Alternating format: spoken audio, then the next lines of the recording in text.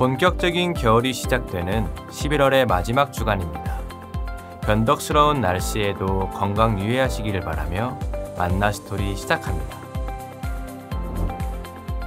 지난 추수감사절에 사랑의 과일 나눔이 진행됐습니다. 사랑의 마음을 담아 가져오신 과일들을 포장하여 총 832박스를 필요한 가정과 복지시설 등에 나누었는데요. 참여해주신 성도님들께 감사드립니다. 지난 목요일 월드 휴먼 브릿지 주최 사랑의 김장 나눔이 진행됐습니다.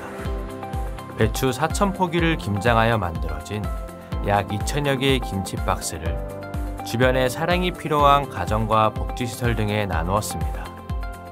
봉사와 기도로 함께 해주신 모든 분들께 감사드립니다.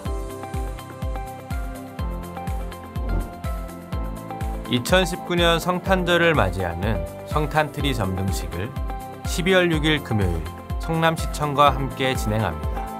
시청 1층 로비와 여수동 상가거리에서 열리는 점등식에 성도님들의 많은 관심과 참석을 부탁드립니다.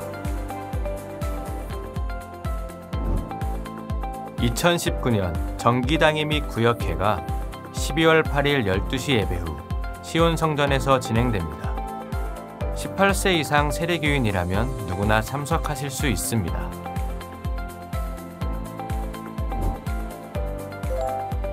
이어지는 소식입니다. 2019년을 마무리하는 부서별 회계감사가 24일 주일에 진행됩니다.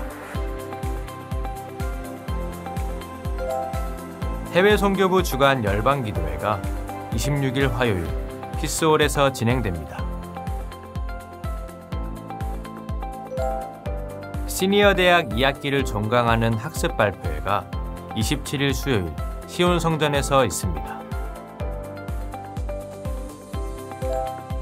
2019년 하반기 세례식이 30일 토요일 프라미스홀에서 진행됩니다.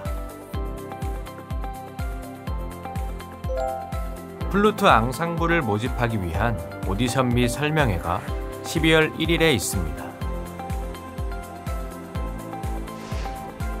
모든 신청은 2, 3층 로비 부스입니다. 12월이 다가오며 예수님의 오심을 기다리는 대강절도 다가옵니다. 우리와 함께 하시기 위해 우리 곁에 오시는 하나님과 동행하시기를 소망하며 한 주간도 승리하시기 바랍니다.